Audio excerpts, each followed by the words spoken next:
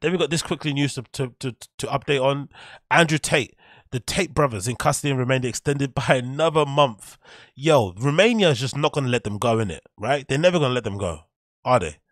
It kind of reminds me a little bit again, Nicaragua story here. But when I went there um, for the first time to see my friend to do a bit of traveling and whatnot, um, I I got off the plane after again long trip, so I had to change four times. I think. I think I flew to London to Toronto, then to Toronto to like Dallas or something, then Dallas to Atlanta, and then Atlanta to Nicaragua. It was a crazy flight, and it's the only one I could get because it was really cheap at that time. So anyone I could afford to kind of go there. Um, so I went there. Crazy long flight, first time kind of traveling that kind of distance.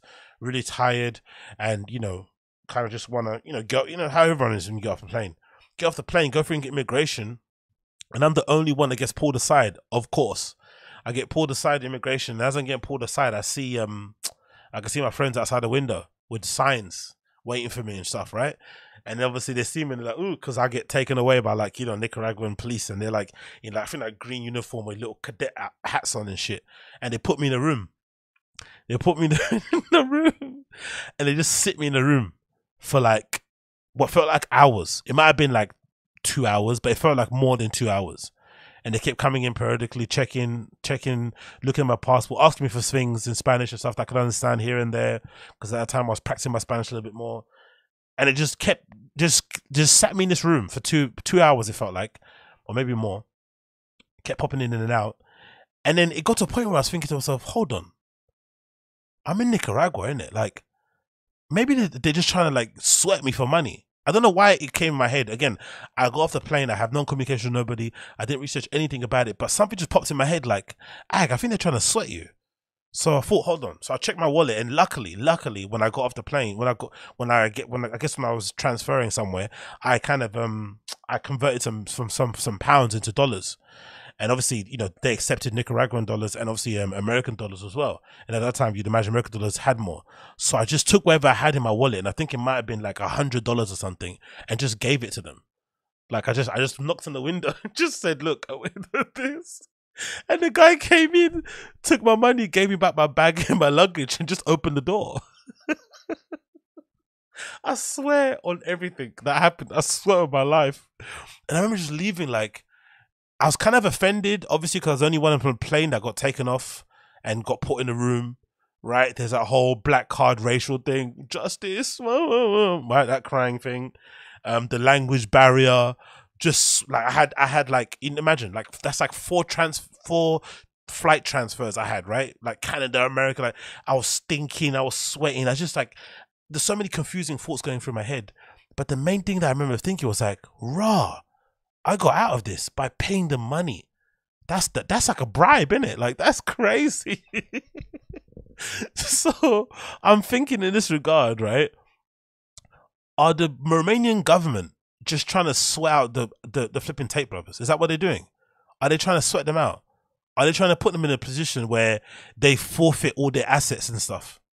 And then just, you know what? We'll send you on your way. We'll send you back to uh, the UK or wherever they're, I guess, um, registered or whatever it may be. Is that what's happening here? Because this seems so weird. No, no charges, and just keep extending it. just keep extending it. Like, what have they done? But or they've really pissed off somebody high up. Because I don't know if I'm thinking they must have pissed off somebody high up or refuse to pay some money or something. I don't know what's going on. Are people saying in the chat Romania is trying to be accepted as legit? Okay, cool. So they don't want to. So I guess Romania are doing what Dubai are trying to do. Because Dubai, if you read, if you again, I'm, I'm fascinated with the flipping with the with the underworld. By the way, I think you could tell from some of the books I have around here. I'm obsessed with fucking um crime and shit. I don't want to take can't bother anyway. I got loads of books on like Escobar and like coke and stuff and all that sort of madness, right? So I'm obsessed with the underworld. So there's loads of good channels on YouTube that do this. And one one YouTube channel, um, oh, I wish I could remember the name, but anyway, one YouTube channel was basically saying that um, Dubai is now cracking down on a lot of those guys from Europe who are going over to Dubai and basically turning it into their version of Miami, like the European Miami, and kind of going there to seek kind of refuge. So they're clamping down on a lot of the drug smugglers, brokers, and whatnot, and trying to clean up their image so people don't look at Dubai as like as like um as like a safe haven for drug dealers or for gang members and stuff, whatever it may be. So I might, I might, maybe that's what Romania are doing because you know Andrew Tate was so dumb and he was bragging about the fact that he could get away what he could get away with in flipping Romania.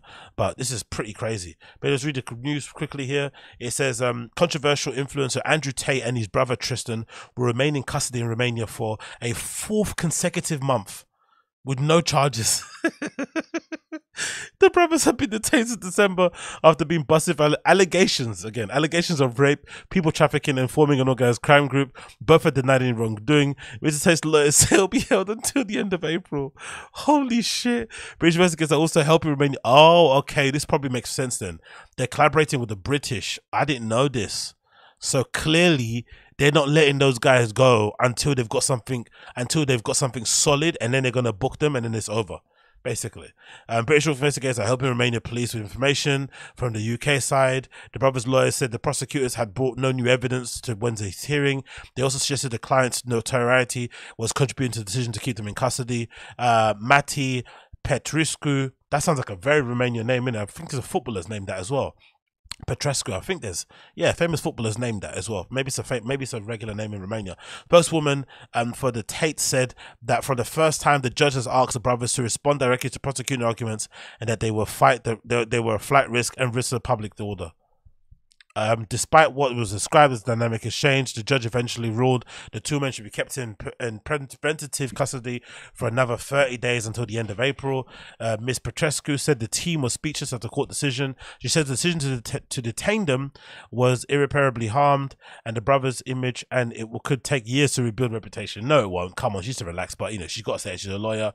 Um, the lawyers acting for the Tates in the US um, recently contacted one of the alleged victims in the case, threatening to sue her and her family for 300 million for defamation unless she retracted her claims. Judge has consistently justified the decision to keep them in custody on the grounds that they might pursue witnesses or interfered evidence. Uh, at previous hearings, investigators have reportedly presented evidence from the phone calls recorded during the brother's detention. God damn it, man. Shit. I wonder if this is a case of like fuck around and was it fuck around and find out? Is this a case of fuck around and find out? Is this a is this um just corruption at its highest order? Are these guys really dodgy? That's the thing I really want to find out. Are they really as dodgy as people are trying to make it seem? Like, are they actually, you know, undercover running a covert people smuggling organization, but then trying to make it seem like they're like motivational speakers? and they're like crypto fleet guys. Like I wonder what's going. That's what I'm really intrigued by. I really want to know that. I just want to know: Are they really the guys that they're trying to paint out, or is this just all one big misunderstanding?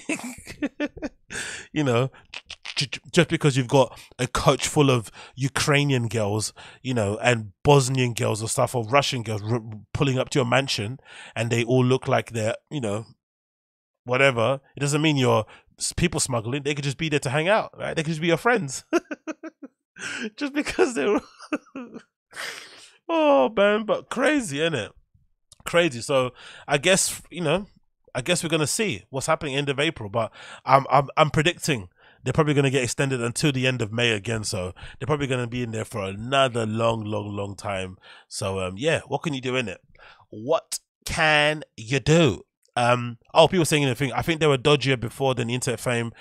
Oh, true, Andrew W. I just saw what you're saying there. That's a good point maybe they were into some weird shit before, no, some corrupt and dodgy stuff before, some dark shit, people smuggling all that. Because well, I think when you start to get into people smuggling, people trafficking, you know, all that sort of stuff, you're you're you're like really in the darkness. So if they're into that world, but then on at the same time, Andrew Tate was trying to pop off the whole like you know, influencer type thing, motivational speaker type guy, coach, life coach stuff, then that pops off for him. You still got this past. You have to kind of like, you know, shake but it's hard to shake those things in real time once your your star sort of like going up. Um, yeah, people saying yeah, no on the investigation. Az, yeah, true. So if they do think he, they did what they did, because for sure there can't be no smoke without fire in it. You can't be keeping people like this in in custody for this long if you don't have some some sliver of evidence. So they probably got something. They just need to build their case, and obviously, if they're collaborating with the British, it's definitely they're trying to build it all up. And um, yeah, man, it's just one of those cases, isn't it? I just, I just, for me personally, again, I, I, I didn't follow Andrew Tate. I don't know much about him, um, apart from the interviews that he had on different podcasts and stuff. But I wasn't, you know, I wasn't in the flipping Discord and shit. I don't really care that much. But I just want to know: is are they as dark as it are they as they're making it seem? That's what I want to know. Are they really dodging make it seem? And the documentary is gonna be glorious, glorious. You know, it's gonna be glorious.